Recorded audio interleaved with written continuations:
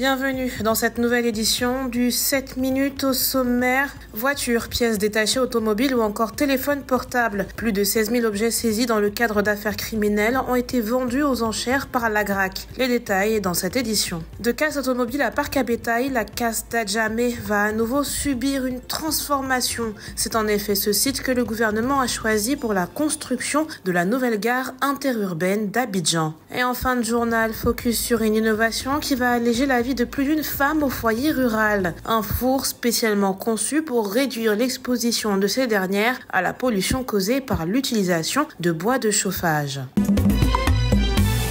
875 francs CFA le litre de super samplon et 715 celui du gasoil. Déjà dix mois que ces prix sont affichés aux pompes des stations d'essence ivoiriennes. Tarif que le gouvernement pour le mois de juillet a décidé de maintenir. Un statu quo qui concerne également les prix du gaz butane. La bouteille de 6 kg reste à 2000 francs CFA, celle de 12,5 kg à 5200 francs CFA, celle de 15 kg à 6925 francs CFA, celle de 17,5 kg à 8125 francs CFA, celle de 25 kg à 11 610 francs CFA et enfin celle de 28 kg à 13 000 francs CFA. 22 véhicules, 11 000 pièces détachées de véhicules automobiles et 5 433 téléphones portables. Le 29 juin, l'école de gendarmerie d'Abidjan a accueilli la troisième vente aux enchères organisée par l'agence de gestion et de recouvrement des avoirs criminels. Au thème de notre décret portant organisation, le produit issu de la gestion des biens saisis et confisqués pourront ainsi servir à l'indemnisation des victimes de la criminalité financière et du terrorisme, au financement de la lutte contre la criminalité financière, contre le trafic des stupéfiants et la délinquance organisée par des dotations aux structures compétentes judiciaires, sécuritaires et financières.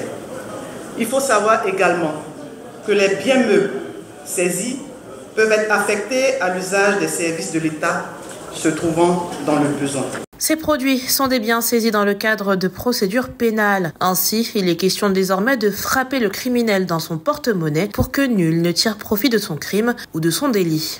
La peine de confiscation et de saisie sont devenues des peines complémentaires.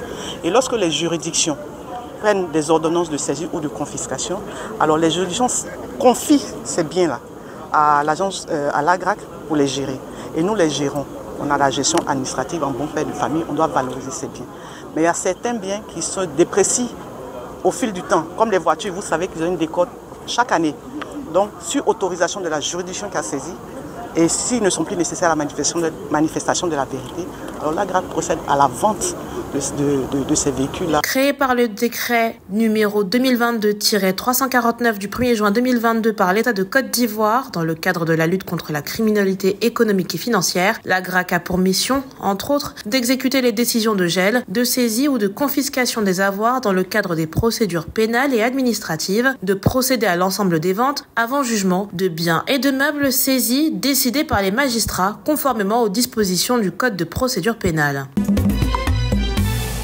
La gare interurbaine d'Abidjan sera réalisée sur le site de l'ancienne case d'Adjamé. C'est la décision prise par le gouvernement lors du dernier conseil des ministres qui s'est tenu le mercredi 26 juin 2024. Décision qui fait la plus grande joie du Haut Conseil du patronat des entreprises de transport routier de Côte d'Ivoire. L'impact de cette infrastructure sur la compétitivité de l'activité de transport est inestimable. L'impact de cette, infrastructure sur l'organisation rationnelle économique du transport est inestimable.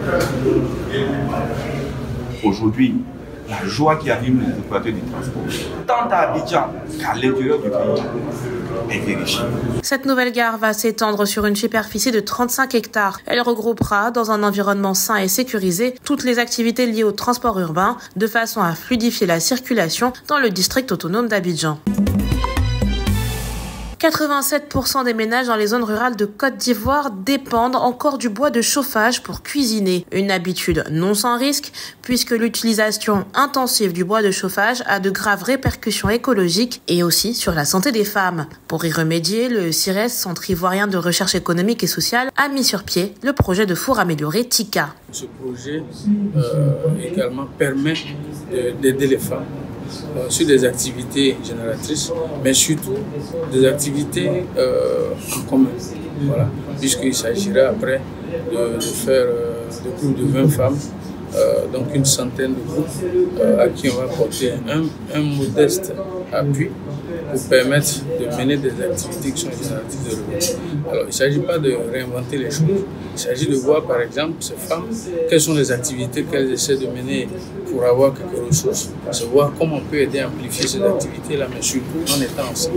Ce projet, qui se déroulera sur trois ans au profit de plus de 2000 femmes, représente une avancée significative dans la réduction du travail domestique non rémunéré et dans l'amélioration des conditions de vie des femmes en milieu rural ivoirien. En fournissant des données probantes pour l'élargissement des technologies énergétiques propres, cette initiative ouvre la voie à des politiques plus durables et à des partenariats publics-privés pour le développement de ces innovations. C'est la fin de cette édition du 7 minutes. Merci de l'avoir suivi. L'actualité se poursuit sur cette info et sur cette info.ci.